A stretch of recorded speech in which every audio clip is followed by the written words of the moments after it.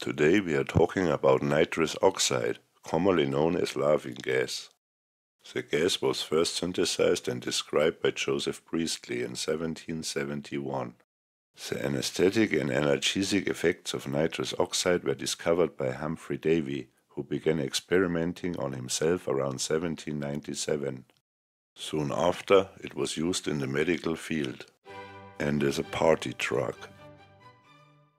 In modern rocketry, such as hybrid rockets like Spaceship One, nitrous oxide is used as an oxidizer. The advantage is that it can be liquefied under pressure without cooling.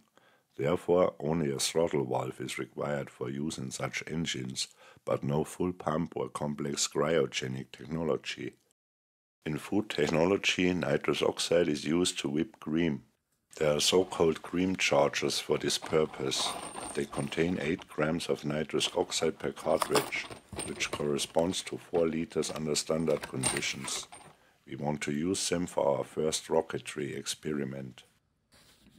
To this end I bought a cream dispenser and took it apart to get to the charger cracker. That was more difficult than I thought. I had to saw the head apart.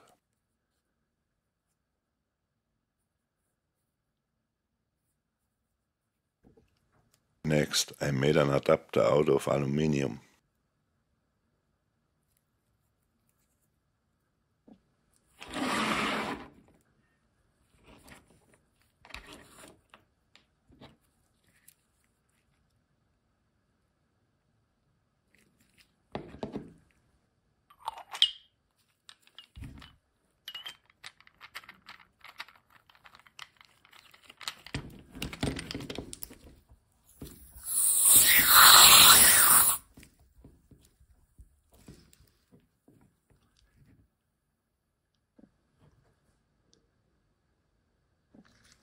To demonstrate how nitrous oxide acts as an oxidizer, I use a piece of paraffin-based fire lighter.